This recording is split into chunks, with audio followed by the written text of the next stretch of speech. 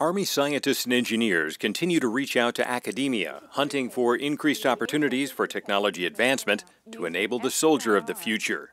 Dr. Michelle L. Pantoya, a Texas Tech University mechanical engineering professor, visited the U.S. Army Research Laboratory to share research and collaborate on future discoveries in materials science, October 14, 2016.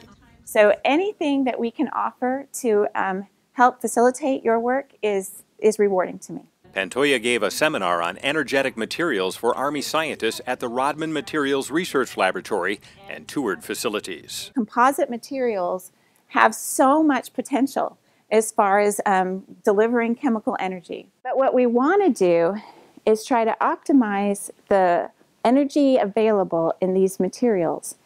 The seminar focused on the potential of composite materials delivering chemical energy, a topic of great interest to Army scientists.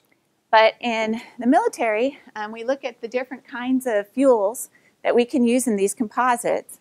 And um, the big three I like to think of are magnesium, boron, and aluminum. Officials said plans for expanded open campus research initiatives with Pantoya are in the works. For ARL TV, I'm David McNally.